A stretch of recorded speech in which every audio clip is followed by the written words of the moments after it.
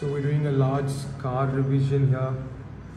This was an accident patient sustained after a road traffic accident. He had his primary treatment done elsewhere several years ago. This scar has been bothering him a lot and obviously so as you can see. Also another small scar on the side of the cheek which we're going to improve upon. We'll be doing a fine plastic surgery here.